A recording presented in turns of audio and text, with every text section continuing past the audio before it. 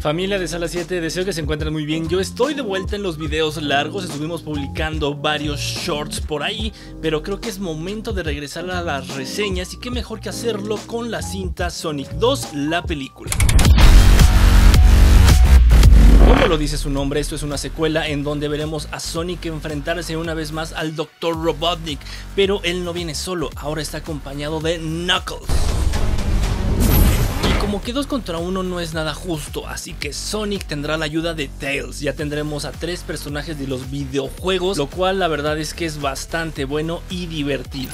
Punto número 1. Hay que contestar la pregunta obligada. ¿Es necesario haber visto la primera cinta de Sonic para entender esta secuela? Y la verdad es que no. Esta segunda parte funciona perfectamente como secuela y como película en individual. La entiendes perfectamente de principio a fin. Obvio si ya viste el film anterior o mejor aún si conoces a la perfección los videojuegos tendrás muchas más emociones. Y si me preguntas sobre las referencias al videojuego, me parece que son buenísimas. Entonces, si tú tienes esos datos extra, obviamente te emocionarás más. Pero si no, aún así esta película funciona bastante bien así en individual.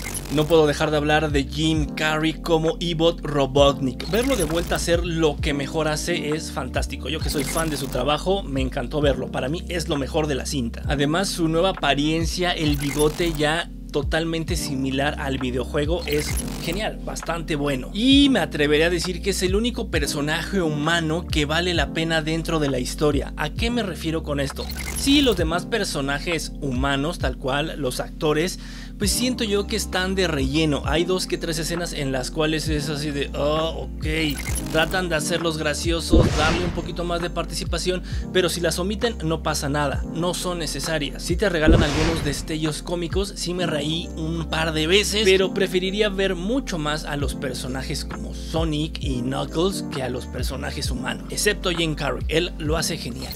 Otro tema obligado es el doblaje, así es, Luisito Comunica regresa para hacer una vez más la voz de Sonic y la verdad es que lo hace bien. Sabemos que hay mucho talento en el doblaje mexicano que podría hacer también un muy buen trabajo, pero la realidad es que no desentona. Claro, está muy bien cobijado. Tenemos a Mario Castañeda como el Dr. Ivo Robotnik, Marisol Romero como Tails y Octavio Rojas como Knuckles. Entonces tener ese respaldo en el doblaje creo que se nota en el trabajo que hace Luisito Comunica, entonces Bien, una palomita en ese sentido.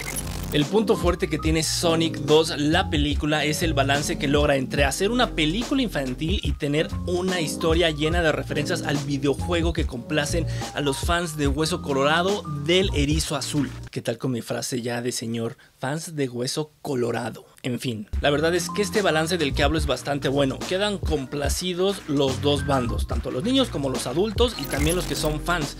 En ningún momento tú dices así como, ay, es que esta parte es como muy infantil, ¿no? Se te hace divertir y de repente viene una referencia, ves una pelea entre los personajes y todo es bastante bueno. Esta historia tiene un mensaje que tengo que resaltar, que es un mensaje de amistad y de familia. Eh, lo que no me encantó tanto es que el mensaje es muy literal. Tienes a los personajes diciendo, ay, es que ¿por qué te comportas así si yo en un inicio te hice algo malo? Y el otro le responde, pues porque aunque tú me hiciste daño, yo creo que debo hacerlo porque es lo correcto. Son diálogos bastante literales que tal vez se podrán explicar con solamente acciones, pero una vez más lo entiendes porque esta película va enfocada también a un público infantil. Sonic 2 la película en general me parece que cumple bastante bien, me atrevería a decir que todavía es mejor que la primera entrega. Los efectos visuales son bastante buenos, los personajes son enternecedores, divertidos y muy fuertes en su personalidad pero como bien saben, ustedes tienen la última palabra. Y después de haber ido al cine a ver esta cinta, te invito a que aquí abajo en los comentarios me digas si compartes mi opinión o si estás en total desacuerdo. Ya sabes que el chiste es debatir sobre eso que nos une, que es el amor por el cine.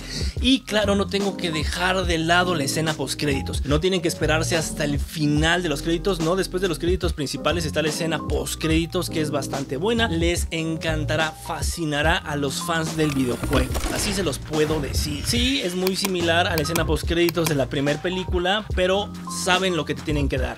Saben qué entregarles y entonces, ¡pum! La rompieron con esa escena post créditos.